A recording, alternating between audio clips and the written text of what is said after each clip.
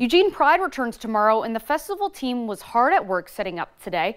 With around 250 vendor booths, 20 food trucks, a beer garden and more, there was a lot to prepare before the big day. Volunteers started at around 7 a.m. Thursday and continued setting up until around 9 this evening. The festival will have two entertainment stages along with local vendors and activities for the entire family.